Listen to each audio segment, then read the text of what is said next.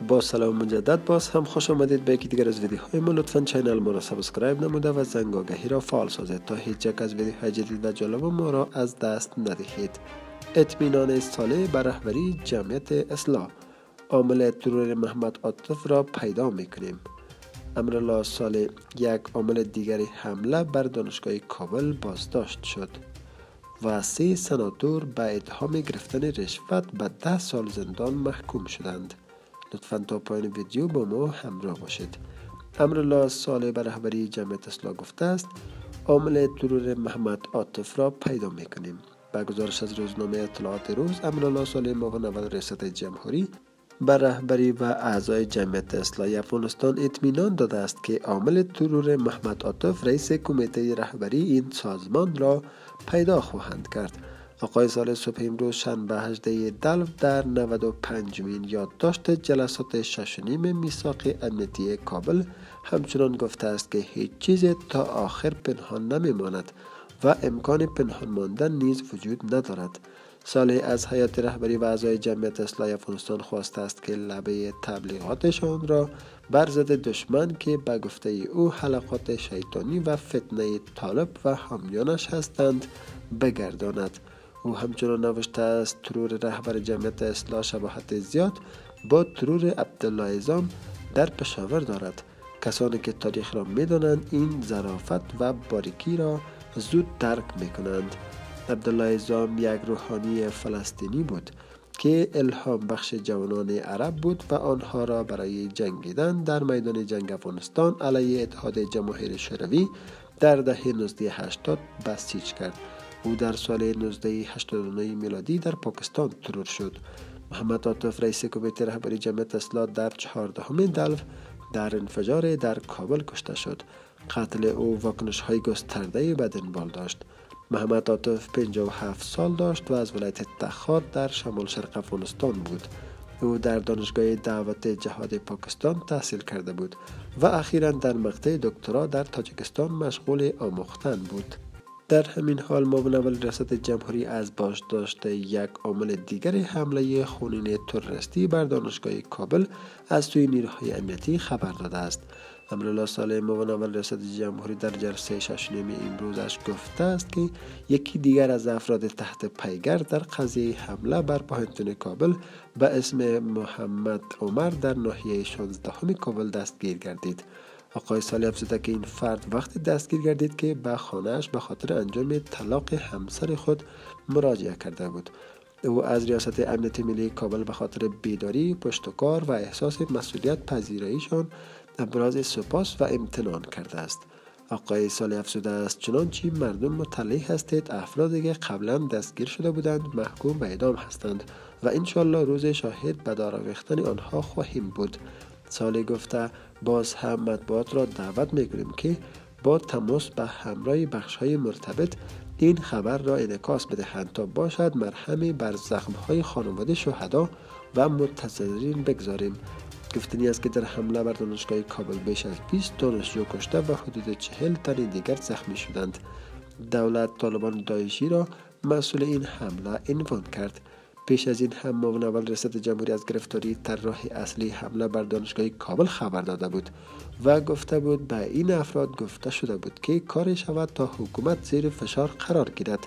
بدنام شود و در ذهن مردم ضعیف و ناکارا جلوه کند. این کارها با انجام عملیات بر اهداف نظامی امکان پذیر نبود. از سوی دیگر سه سناتور به اتهام گرفتن رشوت و به ده سال زندان محکوم شدند.